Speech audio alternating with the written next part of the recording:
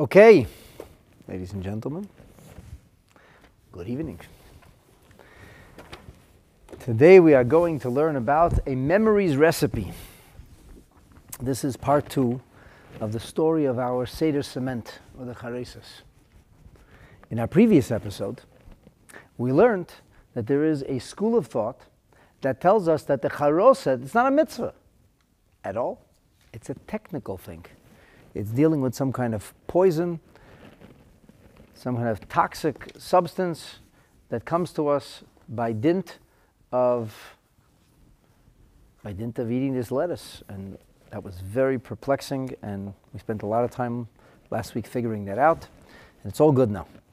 It's all good. But there's another school of thought. The other school of thought is that the charoset very much is a mitzvah. That's what, that's what the, the Mishnah says. This is a Mishnah that goes back to Daf Kuf Yudalad, the bottom of page 114.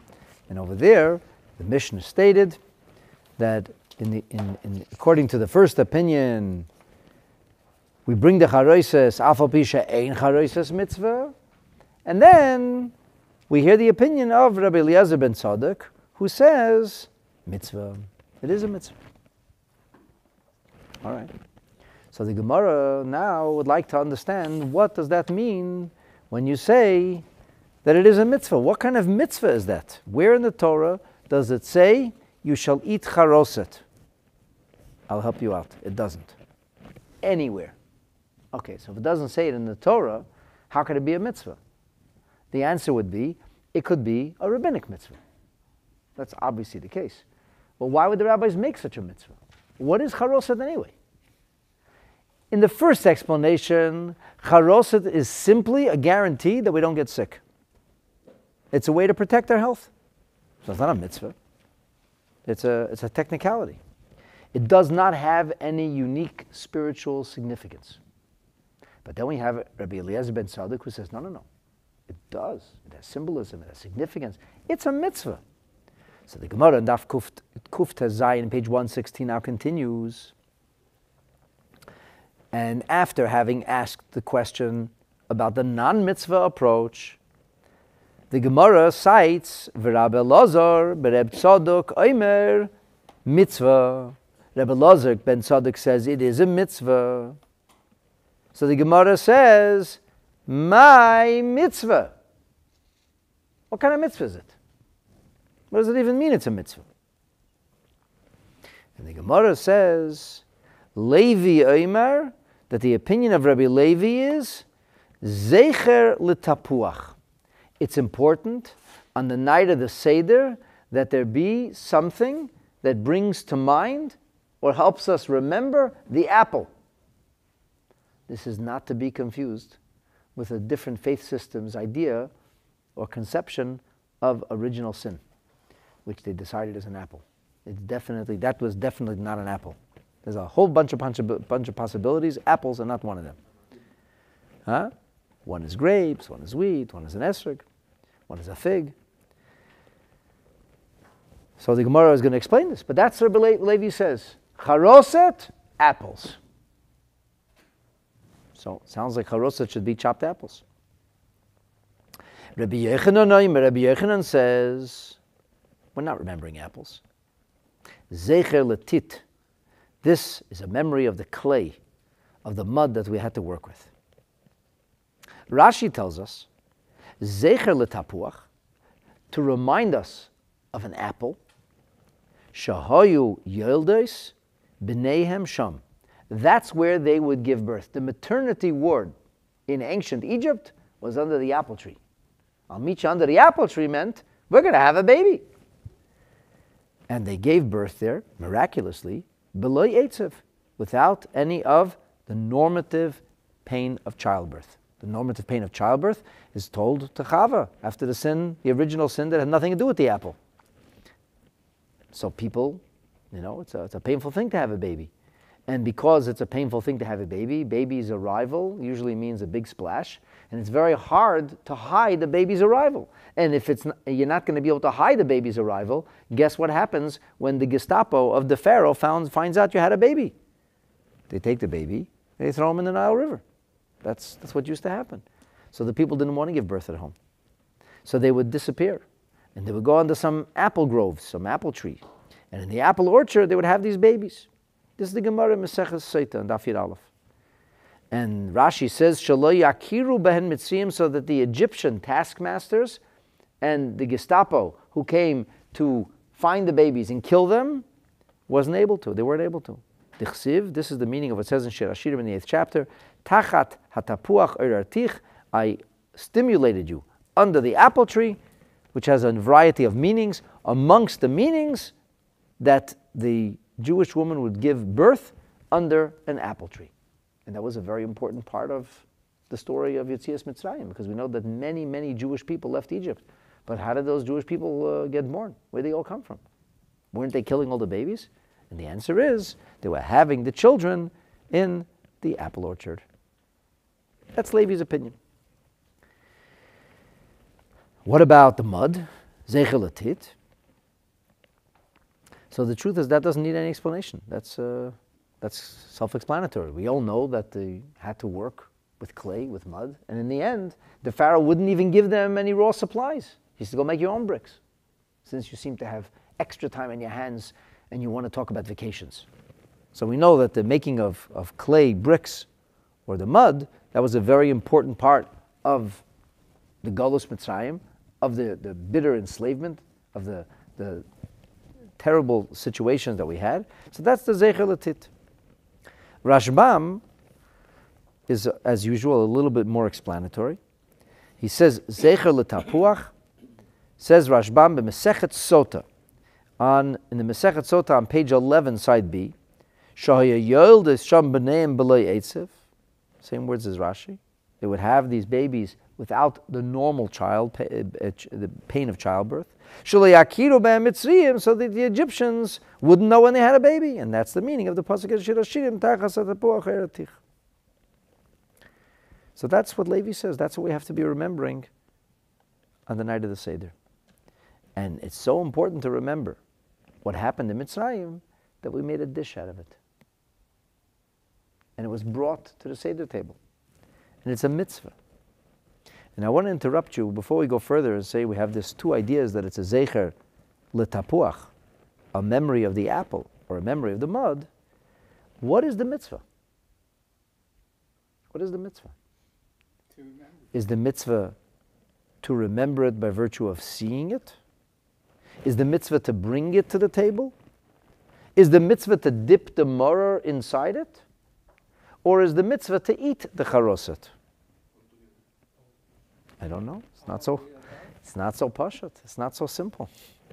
So, for example, when the Rambam talks about this, the Rambam says, "Hacharoset mitzvah midivrei sofrim." This is the Rambam in Hilchas Chometz Umatzah, the seventh chapter, the eleventh halacha. He says it's a rabbinic mitzvah. Why Zecher Latit, a memory of the mud? We'll come back to that later. I want to take you to the end of the halacha. Otan al hashulchan belele. You bring it to the table on the night of Pesach. The Rambam does not say you eat it. He says you bring it to the table.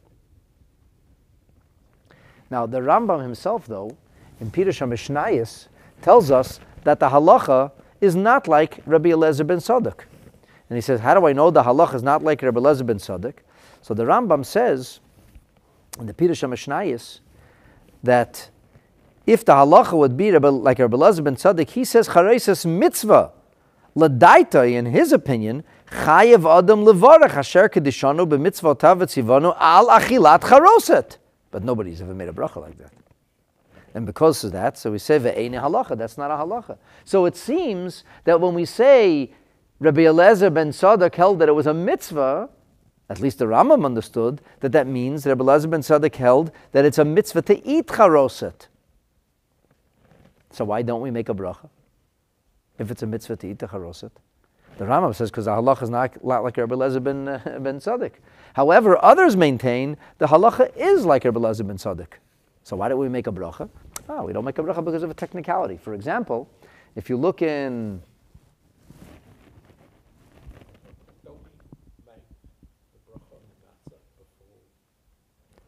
Yes, we do. But don't we make a bracha on the maror? Asher kedishanu b'mitzvotav etzivanu al achilat maror. And why don't we make a ha'adama on the maror? Because we made a bracha on the karpas earlier, and because it's not considered an interruption. So the reason that it's not so simple is that when you have when you have something which is not really there as part of a meal, but rather it's there as on its own accord, maybe it does have to have a bracha. Not so pashut, not so simple.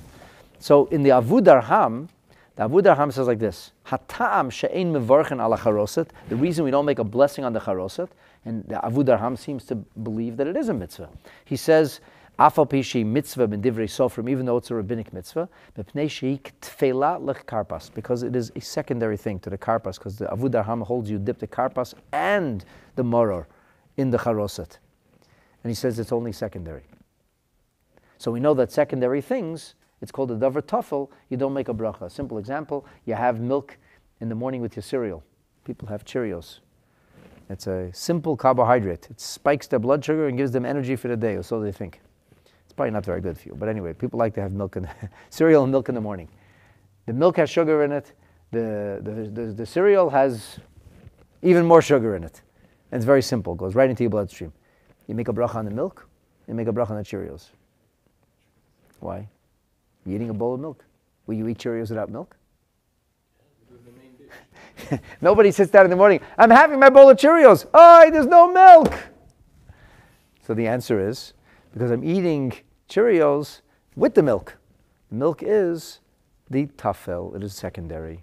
So that's what the Avudraham says, the same kind of thing over here. He says this is a, the concept of, of, of, of, of the, of the charoset because it's only a dip. So that's why it's a secondary thing. That's why you don't make a bracha on it. And certainly you're asking a bracha, making a, a, a, bracha, a mitzvah bracha, for sure we would make on it. Forget about what bracha you make on charoset, that'll be a good question. Because it's nishtana tzurasa uh, it doesn't look like an apple, nobody knows what it looks like actually. It's a hodgepodge of stuff, and that's really what the Aruch says, that's what it's supposed to look like. It's supposed to look like cement. it's supposed to look like mud. Seder cement. It's not supposed to look appetizing. Maybe supposed to be appetizing, you're not supposed to look appetizing. So nobody's questioning what bracha you make as birchas hanenin, but the question is, do you make a bracha of the bracha of Asher Kedishanu b'mitzvah tavitzivanu al achilat charosa? But there's no such mitzvah in the Torah, and there's no such mitzvah in the Torah to kindle a menorah on Hanukkah, and there's no such mitzvah in the Torah to listen to a Megillah on Purim. There are a lot of things that we do. There's no such mitzvah in the Torah. We should wash our hands for Natilat Yadayim. It's a rabbinic mitzvah, and we make a bracha on rabbinic mitzvah. It's also a subject for another day. All I'm pointing out to you is it's not so simple. It's not so simple. I looked in the translations. So um, the, in the in the Mesivta Gemara, they actually contradict themselves because the Mesivta Gemara in the Mishnah, on the Mish, in the in the commentary in the Mishnah, they say that the mitzvah is to eat it, and then here on the on the commentary in the Gemara, they say the mitzvah is to dip it. So either they have two authors, so the author was maybe it was Purim when he was writing it, and he forgot what he wrote two pages ago. Because uh, so the Mesivta Gemara contradicts itself. The ArtScroll translates it as as uh, dipping, and the Steinsaltz edition translates it as eating. Well, what's the answer? The answer is, could be any all of the above. it's not. It's not pashut. It's not. I don't know what the mitzvah is. I, I would say to you that on a very, very straightforward level, the Mepharshim don't speak about this, by the way, but on a very straightforward level, if you look at the Mishnah on Daf Kuf the Mishnah on page 114, what is the Mishnah talking about? What's the verb in the Mishnah? Heviu. Heviu. It says you bring it. It doesn't say you eat it. It says you bring it. And that's the only time we hear about the charosa, when you bring it. So the bringing it, I mean, I, I, I, think maybe on a straightforward level, the mitzvah would be to bring it. Why is it a mitzvah to bring it? Ah, for this you have to stay tuned because, well, come back to that. There's a there's a very big deal in bringing it, or more accurately, for it being on the table. It has to be on the table. In other words, it's a part of our storytelling. This is the visual aid. You taste it, you see it, you look at it, you smell it, you use it it makes the story more interesting. And that's what this is about, conveying the story in an interesting and a fascinating way to the next generation to keep their attention. So we have these two opinions. There's two opinions. We have Rabbi Levi. Rabbi Levi is telling us that it's a tapuach, it's about an apple, it's about the story of the Jewish birth rate. And we have Rabbi Yochanan who's telling us it's the story of the Jewish suffering, the story of the slavery, the story of the bondage, the story of the forced efforts and work. Okay. So, uh, what's the halacha? What do we do? And here it gets very interesting. Before telling us what the halacha is, or how, who we follow, because it's two very different schools of thought, Amar Abaya, Abaya says, Hilkach, therefore, tzarech likiyuhi. Therefore, it needs to be tart. It needs to have an acidic taste to it, a sharp, acidic taste to it. And vitzarech lisimuche, it has to be thick in its consistency. It can't be like, like, like a liquid, it has to be like a paste. It's like a paste. So what is Abaya saying? What does that mean? Hilkach. Because we have, we have opinion of Levi, it's about the apples. We have an opinion of Rabbi Yochanan, it's about the mud. So Abaya says, aha, and that's why it should be tart, and that's why it should be thick. What? What does that even mean? So, Rashi and Rashbam tell us the following. Tzorech likiyuhi. It has to be tart. It needs to be acidic. Why? Says Rashi, Zecher letapuach, because this reminds us of the apple. You may not have noticed it, but apples have a certain tartness to them. And if you leave apples, they easily ferment. And they become sharp, a sharpness to an apple. Now, I know green apples are like that, but I guess even sweet apples, there's a certain edge to the apple. So therefore, you have to have you have to have a kiui to remember the the apple. Vitzarech lisimuche, and you have to make it thick in its consistency, and that is zecher latit. That reminds us of the mud. In other words, Rashi interprets the teaching of Abaye that Abaye says because we have a school of thought that has to remind us of the birth rate. That's the apple. Because we have a school of thought that has to remind us of the suffering and the backbreaking work, that's the mud. So it has to look like mud, meaning it has to be thick like mud, and it has to be tart like apples. In other words, according to Abaye, we're covering two bases. We're following the school of thought of Levi, and we're following the school of thought of Rabbi Yochanan. You look in the Rashbam, Rashbam develops this as usual, in a little bit of a more elaborate way. And he says, what I just, what I, I just quoted Rashi to you. Rashbam says that what is the meaning of lisimuche? He says lisimuche. How do you make it thick? He says, I'll tell you how. Lichteish You got to chop up a lot of different vegetables. Harbe. Kadeshi ove. You have a lot of different vegetables, and they're not all gonna. It makes like a like a, a dough of sorts. It all congeals and comes together. Now he goes back to explain why do you need. First, he says, how do you even make it thick? How do you make something which is chopped up and thin? You, if it's pureed, how do you make it thick? He says, put a lot of chunks in it. It's a salsa. Make it chunky. Then Rashbam says, so what's the meaning of tzarech likiyua? Lahatil boy tapuchin. Make sure that one of the ingredients is apples. One of the ingredients has to be apples. Why? These bekiyua, because apples are tart. And why is that important? Zecher letapuach. We should remember the apples. And then he says, V'tzarech l'simuche. You have to make it thick, because that is a zecher, a memory of the tit of the mud. So, from the way we hear the explanation of Rashi and Rashbam, the way they seem to be learning the pshat, we're covering our bases here which is very strange. Because immediately after the words of Abaye, the Gemara brings this to some kind of resolution. The Gemara says, Tanya kavase de Rabbi Yochanan. We learned a teaching which lines up perfectly with the opinion or school of thought articulated by Rabbi Yochanan. No, I want to point out to you. Rabbi Yochanan is a sage of the Gemara, not of the Mishnah. We call that in yeshiva language, he was an Amoira, not a Tana. Amoraim don't argue with Tanoim. If it's in a Mishnah, it's a teaching of a Tana. If it's in a Braita, which is the codicil of the Mishnah, it's a teaching of a Tana. If you were an Amora and you had a tradition and you wanted to bring proof that your tradition or teaching was accurate, what's the best thing you could hope for? Mishnah. A Mishnah that backs you up. Or if not a Mishnah, at least a Brisa. And the Gemara says, indeed, indeed, we have a Brisa.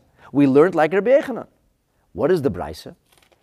The Brisa says, Tavlin, Zecher, Leteven. The spices that are mixed into the charoset, they remind us of the straw, because they used to make bricks with straw. Charoset, that's the actual mixture, is a zecher latit. That's a remembrance of the mud that they baked. With, they made it. They, ba- they baked as bricks.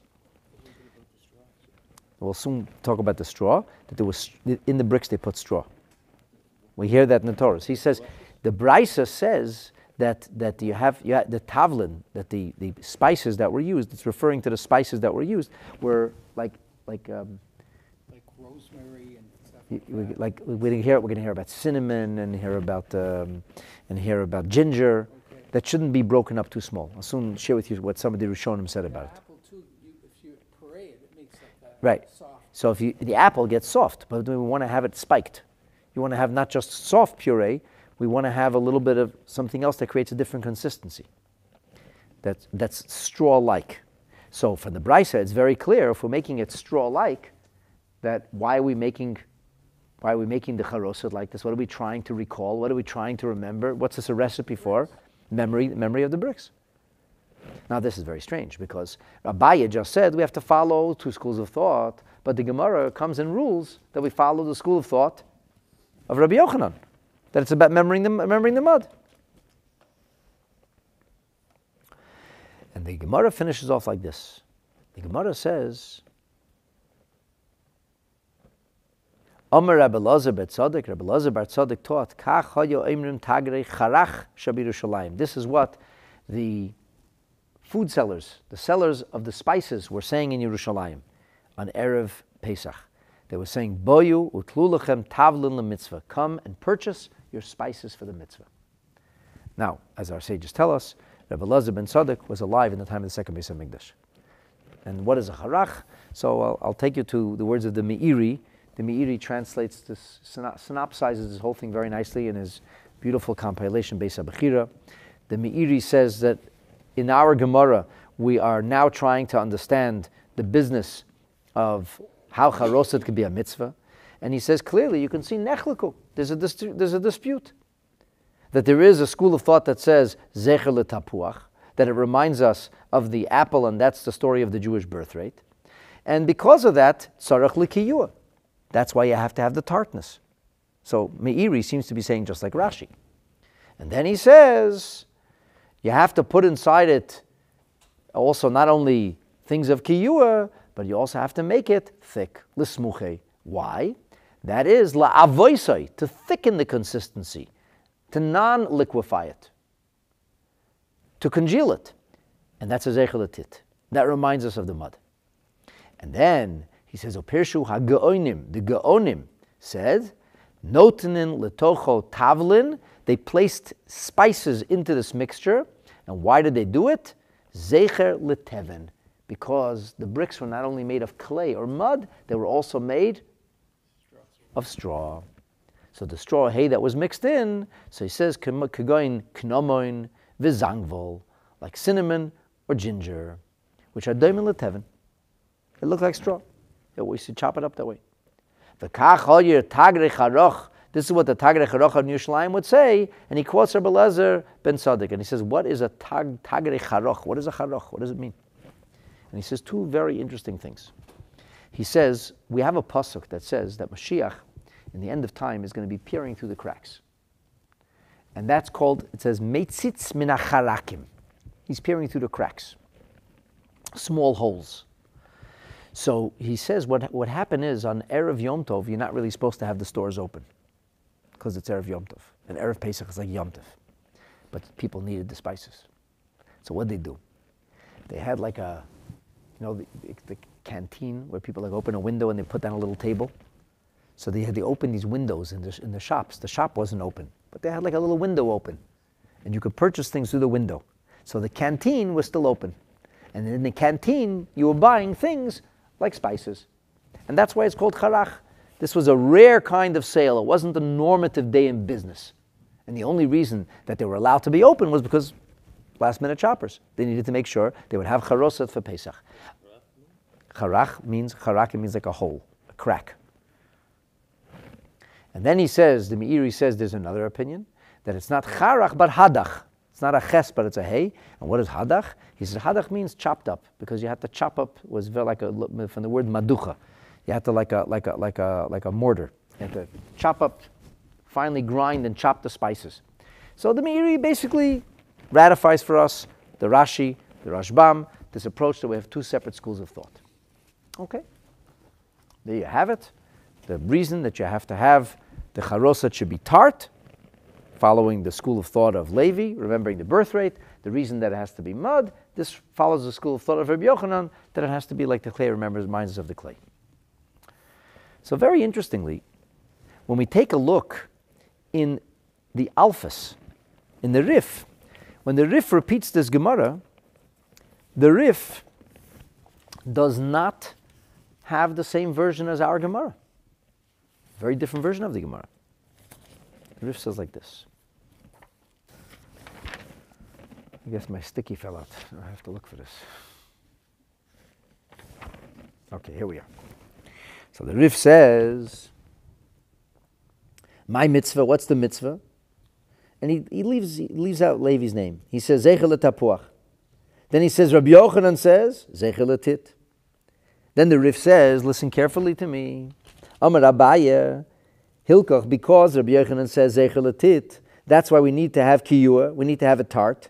And we learned, like Rabbi Yochanan, that the tavlin is zecher leteven. It reminds us of the straw, and he talks about the ginger, and he talks about the uh, the um, no cinnamon, and he and he brings down that the Tagada Yerushalayim were selling these spices lemitzvah. Now, Rabbeinu Nisim who's a commentary on the Rif, he says, Tzarech likiyua. He doesn't explain that you have to remember an apple. He says kiyua is tartness. What is tartness? He says kigoin. For example, tapuchim chamutzim, green apples, sharp apples, or chaymetz or vinegar. He doesn't speak about the remembering a tapuach. Huh? He's, he doesn't say the word a remembrance of the apples. He says it has to be tart. Yes, zachar is remembrance, but he doesn't mention the word zachar. The Ran doesn't mention the word zachar. Why doesn't he mention the word zachar? Because when you read the Alphas, the Rif, in the Rif's Gemara, he doesn't say Abaya is following two schools of thought. In the Rif's version, Abaya rules like Rabbi Yechanan, which, by the way, makes a lot of sense. So why is there a need for tartness? The Gemara doesn't talk about it. The Rif doesn't explain that. When you look in Rabbeinu Asher, the Rosh, and I want to just point out for those of you with this uh, station identification, that when we, we talk about the halacha, the forerunners of halacha, so the Talmud was restated in three different ways. The, the Rif took out the arguments and sometimes the names, and he shortened the Talmud and he stated the Talmud only in halachic prose without the give and take. That was the first codification written. It's written as a replication of the Talmud. It follows the Talmud, the order of the Talmud. Then we have Rabbeinu Asher, who lives almost two centuries later. And he writes halachas. It's called halachas, halachas. He writes in the back of the Gemara, also according to the Mesichtot. And then we have the Rambam, who created a whole new system and reclassified the whole Torah in halachic prose. These are called the three pillars of halacha. All halacha is developed by looking at the major Amudi Halacha, the Amudi Hira, which is Rif, Rosh, and Rambam. So we look in the Rif. The Rif tells us that Abaya says it has to be tart and has nothing to do with remembering the Jewish birth rate. We look in the Rosh.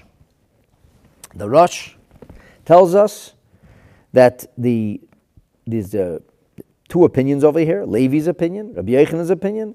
Abaya said Hilkach mitzvah l'smuchi u mitzvah l'kiyui. In the Rosh's version, he switches the order. He doesn't first talk about tartness and then talk about the thickness or consistency. He starts off with the consistency and he says, and it has to be tart. And then he says, we learned like Rabbi Yechanan, that that's what the, that's what the, the, the, the Brisa says. And he says then, and he finishes off with the following statement.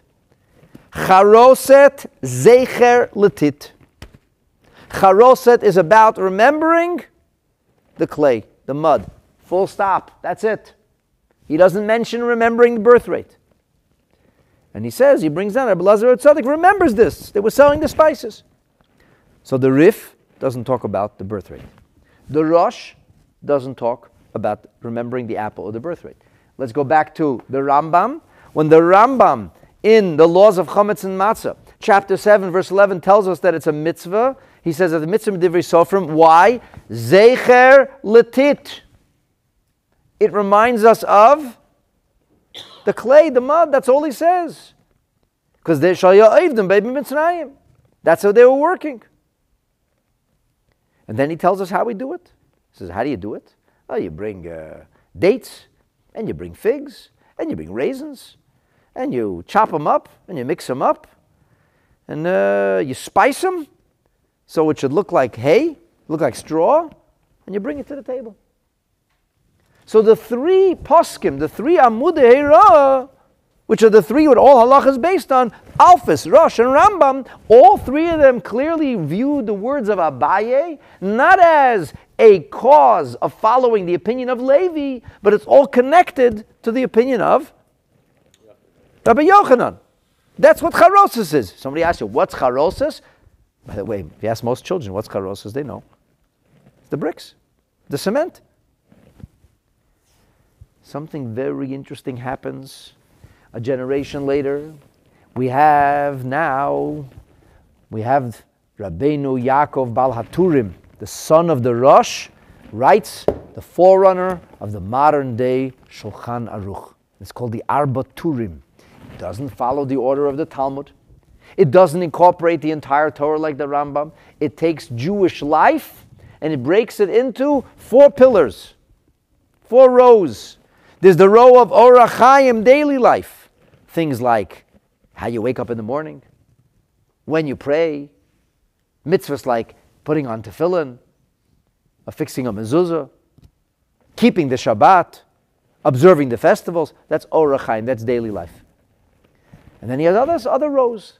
There's the row of Even HaEzer, that's marriage, chas v'shalom, divorce, ideas of matrimony, family life. Yoreh De'ah, things which are permitted and not permitted, like kosher food and non-kosher food. And then a new, another pillar of life, which is the, the, the, Jewish judiciary. Anything which is not connected to the way we are living our lives today doesn't show up in the Shulchan Aruch or in the Tur. For that, you have to look in the Rambam, look in, in the Alphas. That's not, that's why? Because it's not relevant in our day and age. When Mashiach will come, Mashiach won't need the Shulchan Aruch. Mashiach will know what to do. So in Siman Tof Ayin Gimel, which is chapter 473 of Orach Chaim, of the laws of Pesach, the Tur says the following. For those who want to look inside, maybe you're watching online or want to look in later, it's in subsection 5. The Tur says, and I'm quoting, V'hacharoset hu zecher letit. Fact, the charoset is a memory of the clay. The clay. Shahayu avoseinu mishtabdim What were we doing in the land of Egypt? What was our major slavery vocation? The answer is building. And to build, what do you need? Building material. Nobody was using steel those days. Mitzrayim doesn't have stone. There were no quarries. There was no stone. So you made the bricks. They made bricks. Lakach, therefore, tzarich la'asoto av. Therefore, you have to make it thick, like cement, like clay. Zechelatit. Umidvarim chamutzim, and it has to be tart or acidic. Zecher lemaror, to remember the bitterness. It was a bitter time. It wasn't an enjoyable activity. The construction workers very happy people. They got a job. You tell them what to do. They're happy people. They're not bitter. The slaves were bitter. It's a bitter life. So the Tur clearly says here. Number one, he says this is Zecher Latit. Number two, he says it's tart. So it's Zecher Latit has to be thick. And it's tart. He seems to be following very much the system of his father, of the Rosh. The Rosh first put the thick, and then he put the tart. He uses that order. The author of the Shulchan Aruch, Rabbi Yosef Karo, the Bet Yosef, wrote a commentary called Bet Yosef. That was his first. First he wrote a commentary in the Tur, then he wrote the Shulchan Aruch. So he says, I'm very, very disturbed by what it says over here in the Tur. He says, I don't know what's going on over here. He says that it's a Zecher Lemoror, he says. Whoever heard of such a thing? Where in the Gemara does it say that the bitterness of slavery it should be commemorated with Seder cement? That's what we have the bitter herbs for. So we have the, the Roman lettuce for. I never heard of such a thing, he says. And therefore, he says, after a lot of thought and contemplation, I've come to the conclusion this is a mistake and a copyist mistake. It's not what he wrote. It's a Torah Sefer. And he says what he meant, or probably originally wrote, was not Zecher leMoror, but Zecher leTapuach. And somebody came along and copied it, and he said, aha, Moror, Tapuach. How could it be a Tapuach? What does an apple have to do with Pesach? It must be a Moror. It's a very shocking thing that Beis Yosef says because there are many, many copies of the manuscript, and later this is in print. And the Beis Yosef says it's a printing mistake, a copyist mistake. Everybody made the same mistake. It's a very strange thing what he says. But that's what he says. He says the whole, it's, it's got, it's got to be a mistake over here, the Beis Yosef says. There's a Torah Sefer B'Lash Rabbeinu, you have to have instead chamutzim, zechel tapuach. And he says, and this is the idea of remembering the, uh, what happened uh, under those trees, how people were born. And he says, maybe there's a Zeichel also. Oh, Zeichel the bitterness too. But the main thing is the apple, the apple in the, the apple orchard. And he says, this is, you can see this clearly, that Abaye wants to follow both schools of thought. So the Tur is saying like Abaya. But then the Tur would seem to be arguing with his father which could, I mean, could be. Rabbeinu Yoel Sirkish, who wrote a later commentary on the Tur called the Bayit Chadash, the Bach. The Bach says the Bet Yosef claims that there is a mistake here. And he says, I am astounded. I don't know what to tell you. In that case, all the printing mistakes, everybody got it wrong. Everybody copied. Everybody got the word tapuach, mor instead of tapuach. He says this is entirely unrealistic. Lakach nirali, therefore, I believe that Rabbeinu, meaning the, ba, the Baal HaTurim, the Tur, follows the version of the Rif, who says the halacha is like Rabbi Yochanan, and the Rosh, and it's also the Rambam. And he says they all say the halacha is like Rabbi Yochanan. Zechelatit. So he says, so why does it have to be tart? So he's explaining it has to be tart because the shibud, because the, the slavery was very, very difficult and challenging and painful. And as such, the Rif and the Rashi says, are telling us that it has to be, in addition to being in mindful or remembering the consistency of mud or clay, we also have to remember the concept of the bitterness of their work. This is what the, this is what the Bach says on the Tur. And he says that this is Zecher Lemoror. He translates it, Shahayu Shinehem Kehes. The teeth were set on edge. You know when you eat something which is very tart, very acidic, and like, that's how they felt. That's how they felt. They were like, this is terrible. So that's what we're making it tart. It's like sweet and sour. There's a sour edge to it. And that's how the Bach explains the Tur. It makes perfect sense. That's the Zeichel Amora. Just by the way, when you go to the Shulchan Aruch, which is authored by Rabbi Yosef Karo, he says nothing. He says you bring charosas. He doesn't tell you how you make the charosas. He doesn't tell you what you do with the charosas. Zero, zilch, nada, nothing. Doesn't tell you tart, not tart. Doesn't doesn't give you instructions. He figures you however your mother made charosot, that's how you make charosot. you have to look at Shulchan Aruch. This is a tradition. We do it year after year. Figure it out. So, so but, we, but the Ramah, the Ramah does talk about the, the, the charoset. But before we do that, I want to take you back to the original Gemara, and I want to share with you something very interesting that the Tosfos says, the commentary of the Tosfos. So if we go back to the Gemara, you should have it. If you, if you want to look at it, you'll see it on the side of your page. It's on the, the Tosfos is the, the second Tosfos on the page. That's the out, outside of the page in the Rashi script. The Tzarech says, the, the, the Gemara says, Tzarech l'simuche v'tzarech l'kiyui. We have to have it both thick and tart. And very interestingly, the Tosfos' order is also reversed from our Gemara. First thick, and then tart. So the Tosfos says, you know, that in the Talmud Yerushalmi, there's another element of the charoses that gets introduced, which we haven't talked about at all. It doesn't show up in the Bavli. And that is the of the Zecher Ledam. According to the Talmud Yerushalmi, the charoset reminds us of the blood. And he says that's why we call it a dip, because it's liquidy, because it's got wine. And the wine reminds us of the blood. Unfortunately, this is where our enemies took these uh, blood libel stories from, because we had symbolism of blood, not chas v'shalom blood. What does the Yerushalmi say? The Yerushalmi is found in Perek Arve Psachim. And the Yerushalmi there goes like this.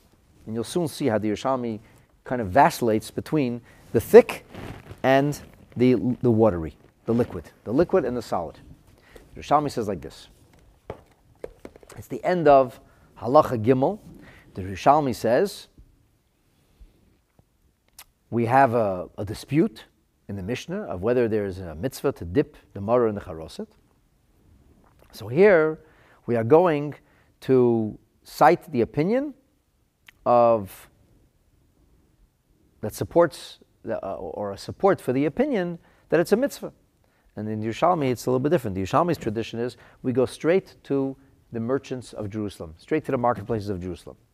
The Gemara says, Tagad Yerushalayim, Hayaimrim, the merchants of Yerushalayim would say, Boyu utlulochem tavli mitzvah. Come and take for yourself the spices for the mitzvah. What's the spices for the mitzvah? It's the mitzvah of charosat. Okay. Now the Gemara tells us, Bnei Beisayu the Isi, B'Shem Isi, the members of the household of Isi said in his name, V'lama nikra shma roiva. Why is it called roiva? And they said, imay, because it fights with the morah that's dipped into it. What is that supposed to mean that it fights with the morah that's dipped into it? In other words, that uh, that it's uh, it, it doesn't it doesn't stick together. They're two separate substances. You stick it in, it doesn't put something in liquid. You know, it goes right in. This Rabbi Shua ben Levi said, yeah, exactly. It has to be thick.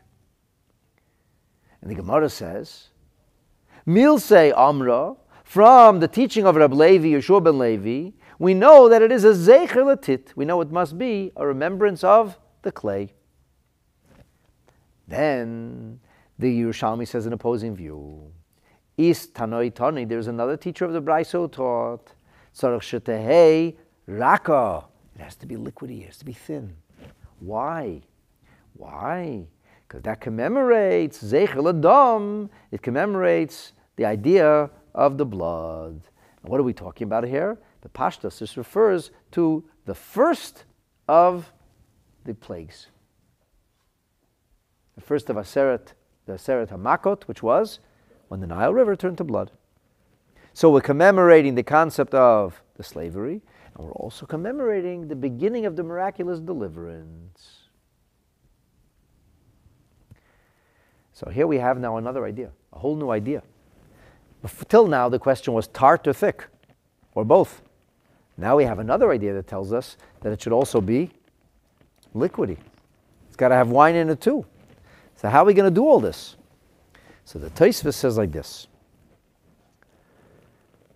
That's why it's called Mishum Hachi B'mashke. That's why it's called. we call the maror dipped in liquid because it is liquidy. V'chein amad bar. So the Tosfos says, and if you look at what, what, what do people do? What people do is this. In the beginning, it's simuche. In the beginning, it's thick. Right before you dip the maror, and what do you do? You liquefy it. You add a bunch of wine. And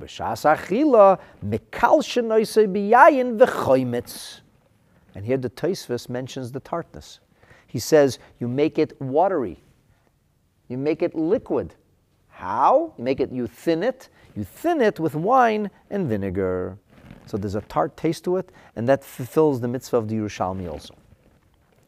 This, by the way, seems not to have to do with bringing the charoset or having the charoset at the table, which you mentioned in the beginning of tonight's class, but using the charoset.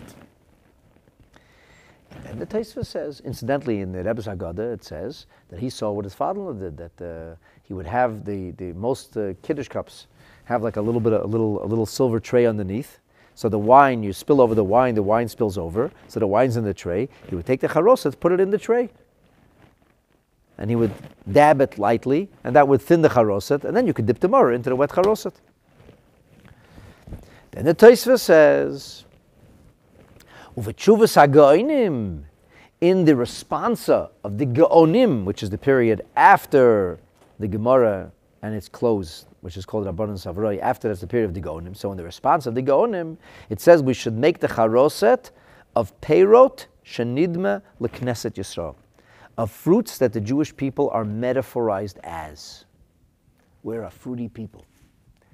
Why? Because there are a number of different fruits that we are described as in the book of Shir Hashirim. What are those fruits? In Shir Hashirim, it says, first of all, we're compared to an apple. That's the apple business. Then it says, like the branch of the rimon, that's the pomegranate. Then we get the business of a fig, a te'ena, like a budding to a fig. Then we hear about the idea of an egos, a nut garden. And then we hear about shkedim, about almonds. And the almonds is shoshakat HaKadosh Baruch Hu because Hashem was very diligent to bring us to redemption. So basically, what's your re- memories recipe according to the Gaonim? Apples, pomegranates, pomegranate seeds, figs, nuts, and almonds. They don't mention anything about the, the hay or the other stuff. Okay? So that's, that's, that's, what, that's, that's what the, the Tosfos says. When we take a look in the Shulchan Aruch, so the Shulchan Aruch itself mentions nothing about how you make the, the charoset. But the Ramah, who is Rabbeinu Moshe Isserles, who this is the, the author of the Ashkenazic Shulchan Aruch, who after the Bet Yosef printed his book, he said, why should I write a second book? Then we have two Shulchan Aruchs. I'll just put a, a tablecloth under the table. So he wrote glosses, and they're printed after the words of the Mechaber, uh, printed the words of the Ramah. So the Ramah says, here's my note, gloss. The gloss is that when it comes to the charoset,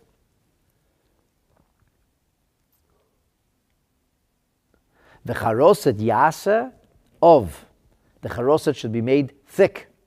Why? Zecher latit. We should be remembering the mud, the clay. Then after mix in a little bit of vinegar or wine. So he is talking about the concept of he mixes the tartness in there, and he says wine zecher ladam. He's clearly quoting the Yerushalmi, as is quoted by the Tosfos. And he says, and you make the charoset of perot shenimshelu behem Yisrael, of the fruits that the Jewish people are metaphorized as. And then he goes ahead and he lists the same fruits we just heard in the Tosfos. He says tapuchim, apples, te'enim, Uh, figs, egoizim, nuts, rimonim, pomegranates, switches the order a little, and shkedim and almonds. And then he says you should also put spices in it, like knomim v'zangvel, like cinnamon, and like ginger, which are doimim letevin, because they're like, they remind us of hay, straw. And that's why megablim bayasatit, that's how you strengthen the consistency when it gets baked in the, in the, sun, but it has like straw going through it, so that what becomes the, the uh, what holds it together, holds the brick together. Now, the Ramah's words are actually found in the in the Hagos of the Maharil. Maharil is a few generations before the Ramah, whose works are seen as the foundation of what we call Ashkenazic Minig and Halacha. Rabbi Yaakov Mulin was the leader of Ashkenazic Jewry in the 12th century, and he writes straight up, Charoset Zecher Letit. Straight. Zecher Letit. And we have, we should also put kida and kanamin. You should also put uh, cinnamon. And we should also put ginger. He says, Michutachim aruchim. Cut them in long pieces. Don't chop them up in little pieces. Why? Because that'll be a zeichel heaven. And then it says, V'amar Mari Segel. He also said, Yesh poskim. There are those who rule, lases rimonim, that people should add pomegranates. And he says that's kedei likiyui, to make it tart. Because I guess pomegranate juice can ferment. So he talks about tartness. Nothing about apples. And it's clear that Maharil rules that this is all about Zeichelatit. So Rashi and Rashbam and Meiri are telling us about the Tapuach. However, we look in all the sources of Shulchan Aruch, and we don't have any mention of this at all. The Bach says that the words of the Bet Yosef are unreasonable because the Gemara says two schools of thought, and then the Gemara brings proof that Allah is like, is like uh, Rabbi Yochanan. But there's something very interesting that I found. Very interesting. The Rosh, when he finishes writing all his halachas, he wrote what we call a kitzer. He wrote just a short synopsis of halacha. A synopsis, like a kitzer shulchan aruch. And in the synopsis, the Rosh says that you have charoset, and the charoset serves as a memory for the tit, he mentions the tapuach also. Very unusual. I didn't highlight this, I have to find it.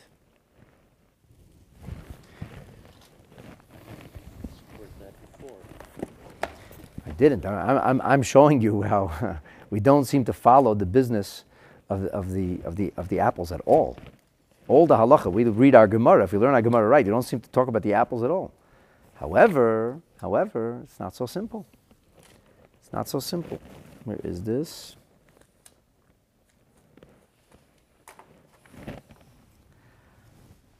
Kuflamet. Here, on here it is. Here it is. Kuflamet. The base. Oh, here it is. So this is what the Rosh says in his Hilchot Pesach Biktzara. He says like this. He says, even though lo husker charoset, we don't hear, the, we hear of the charoset until they bring the morar. He says the charoset is a zecher letapuach o zecher letit. Very strange. He mentions now the apple. He says it could be a zecher letapuach or a zecher letit. And that's in the synopsis. So he brings down the business of the apple. And he says the bottom line is that the, um, the charoset serves a number of different memory purposes.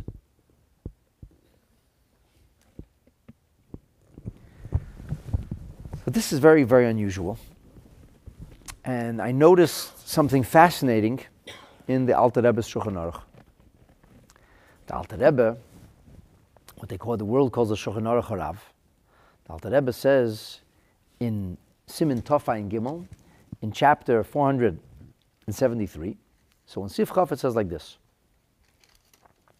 He talks about the Charoset, and he says, V'tiknu, our sages ordained, sheyihiyu lefanov charoset. The charoset should be on the table. He doesn't say about eating the charoset. He doesn't talk about dipping in the charoset. He says it should be there. Bishat amira haggadah. It should be there when the Haggadah is recited. Why? Shahu zecher letit. It reminds us of the clay shenishtabdu be'avesenu b'mitzrayim. Ve zecher letapuach. and it's a memory of the tapuach. And even more fascinatingly, I noticed later on when the Alter Rebbe talks about the idea of the charoset. So the Alter Rebbe says like this.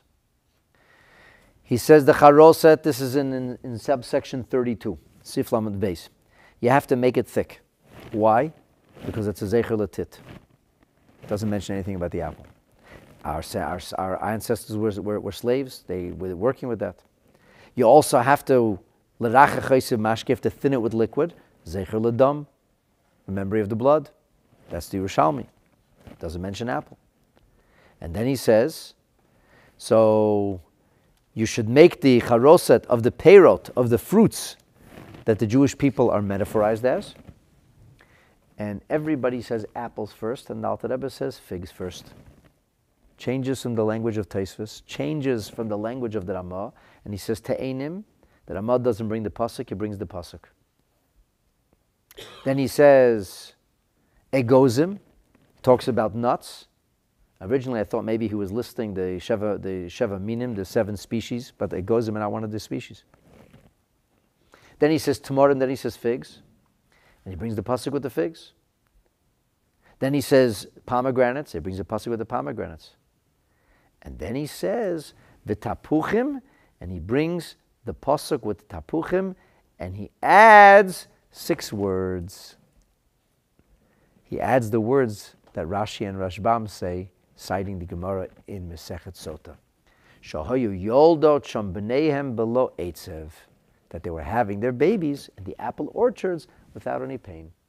In other words, the Alter Rebbe once again alludes to the apples, to the opinion of Levi.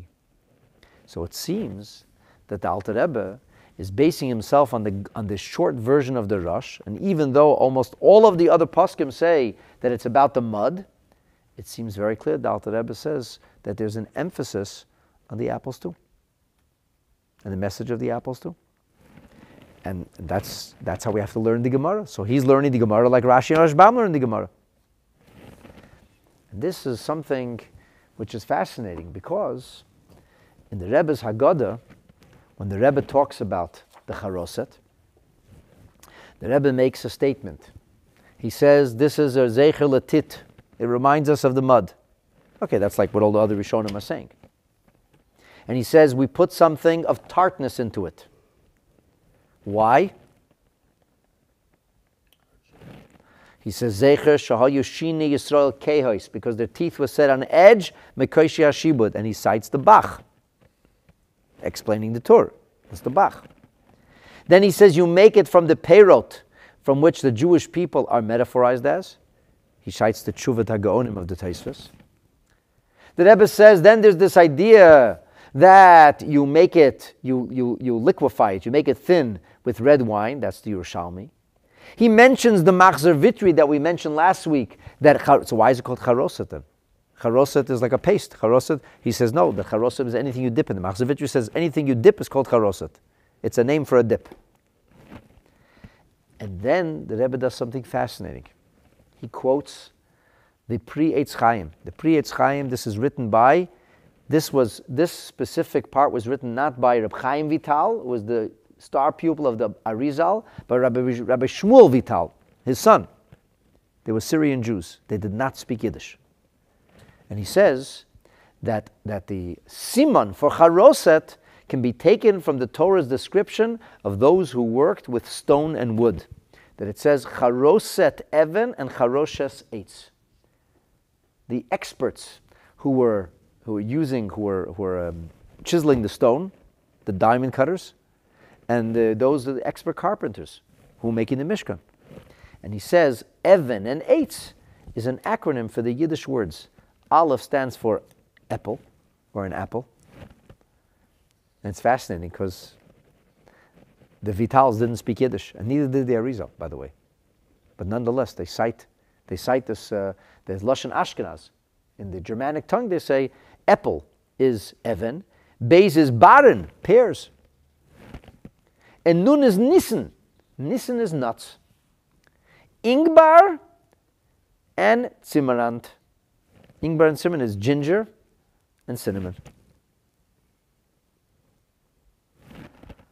And then the Rebbe says, and in uh, Hebrew, citing the Eitz Chaim, he says that means that we should make our, according to Kabbalah, we should make our out of apples, pears, and uh, cinnamon, and nuts. And he says, however, the custom has developed not to use cinnamon and not to use ginger because we can't get it, which is kosher for Pesach. And then he says it's called charoses. Charoses is a zecher lilavena. It reminds us, which was maisa charsis. Charsis means like clay, pottery. And for this he cites the words of the Mordechai.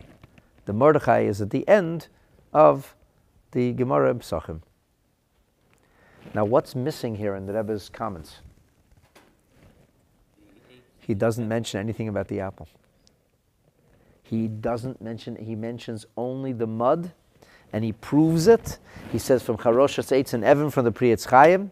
He says it's called Charsis, called Charoses, from Charsis, out of pottery, and mentions nothing about the underneath the apple. And later on, when it comes to the eating of the charoset, dipping of the charoset, later on in the Rebbe's Haggadah, it says you add a little bit of wine, and he says that why do you dip the charoset? Because of what we learned last week's class, because of the kafa, because of the germs, the bacteria. And he mentions nothing at all about the business of the apples. The Rebbe says, "Ein matbilim b'charoset elamishum mitzvah zecher latit." The reason that we dip in the charoset today, there's not really kafa. We don't have to worry about the bacteria anymore. The real reason we're doing it is zecher latit. And here he cites the Pri Chodosh, who says like the Bach, and he does not mention anything about the apples. And it's uh, it's quite fascinating to me, because basically, this makes a big difference in the story we tell. What this is the talking part of the story what is the things we have to talk about? The charosas is instructive in the story we have to tell. It depends how you learn this Gemara. If you learn the Gemara like Rashbam and Rashi, if you learn the Gemara like the Meiri, we have to talk about the miraculous birth rate. If you learn the Gemara the way all the other Poskim learn the Gemara, if you learn the Gemara the way the Rosh seems to learn the Gemara, besides the kids in the back, if you learn the Gemara the way the Rif learns it, if you learn the Gemara the way all the other Poskim, it's not about that story of birthright. It's about the story of the bondage and the slavery. And later on, because we have to dip, that's why we add the wine, and that reminds us also of the beginning of the, of the plagues as well. And this is uh, a, I could be wrong about this, but to me it was a huge thing to discover that the Alter Rebbe seems to rule a certain way, unusually, and the Rebbe overrides that. And the Rebbe cites the other sources and does not follow that. And the Rebbe says that charoises it's a story of the mud, it's a story of the clay, it's a story of the bricks. So that's the Gemara for you. Now we know how we learn the Gemara. You see how the Gemara, whether it follows the opinion, how we learn Abaye. You see if you read Abaye as, as trying to ratify both Levi or Rabbi Yochanan, or that Abaye is only following the opinion of Rabbi Yochanan. The tartness is either to remind us of the apple miracle or the birth rate, or the tartness is to remind us of the pain and suffering of that bondage and of that slavery. And that's uh, basically the story of the Charesis. So now you got part one, and I want to before you, before I leave you, I want to tell you that even though we learned here about it seems that the opinion is like Rabbi Elazar Tzadok, it's not at all simple. It's not at all simple, and the Rambam clearly says the halacha is not like Rabbi Elazar Tzadok. And in Shulchan Aruch, very interestingly, it mentions when it talks about putting the moror into the charoset, it says that you should dip the moror in the charoset. Why? Because you have to make sure it's fully dipped in. And the commentary of the Tazmag and Dovin says, Mishum kafa. So actually, it doesn't seem like the halacha is like a Belazar Tzaddik. The first opinion is it's only for health concerns. The second opinion is it has spiritual significance. The pragmatic reality is both are true. Both are true. Even though the Rebbe says, because in today's day and age we don't have the kafa, the emphasis is primarily on the concept of the zecher latit and not the kafa. Very interestingly, in the Alter Rebbe's Shulchan Aruch, when he speaks about this in Siman Tav Ayin Hey, which is chapter 475 in, in Sif Yud Aleph, the Alter Rebbe says using the, almost the verbatim the words of Shulchan Aruch. He says, you put the of Mara, you totally immerse it in the charoses, in all the hummus, in order to kill off the kafa, which you talked about in the last, the last episode. And he says that you have to make sure to shake it off, not to take away the taste of the Mara. And he says, even though in today's day and age, we don't have the kafa anymore, we, we, um, we dip it anyway as a zecher latit as a remembrance of the mud, the clay. And he says, nonetheless, we don't make a bracha on it, like, we, like I shared with you from the words of the Avudraham, because it's a tafel amara, it's only a secondary. It's like the milk in the Cheerios. It's a secondary thing. Well, from the Alter Rebbe, it even seems that maybe we, he isn't, that, he, that it is a mitzvah, and maybe that in theory it would have to have a make a bracha, not like the Rambam says. But at any rate, the bottom line is this. There are two details in the charoset. One is that you dip it in the charoset. That's when you eat the maror. But the other more important detail of the charoset is it has to be on the table. It's not just about it being brought to the table, it has to be on the table. Through the, the, the Magid part of Seder, through the story. This is the talking point.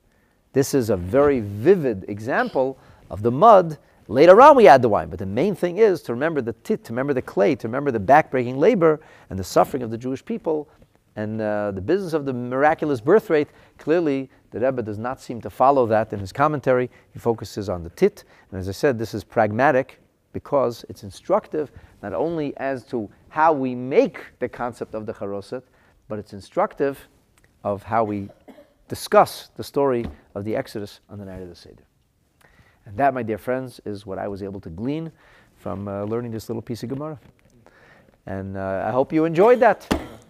And of course, then we have, we have the memories recipe now. The main thing is to remember where we came from and the suffering we had. And to remember that despite it all, HaKadosh Baruch Hu redeemed us in the nick of time. And as we face very daunting challenges, it's important for us to remember what happened, to remember the realities of yesteryear, the dark and dismal challenges that our people faced, and that ultimately HaKadosh Baruch Hu saved us Vehisha Amdala Vesenu, in every generation they rise up against us. HaKadosh Baruch Hu will save us.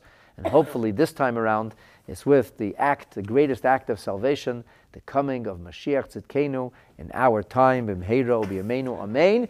Thank you for joining here in person. Thank you for joining online. If you aren't yet, please subscribe. If you haven't yet, please make sure you enable the notification. That's the little bell that dingles. So that way, maybe you'll find out that I'm giving a class in case you didn't know. And please share with others as well. Thank you. The Surah Teves to be continued. So let me, let me turn this off.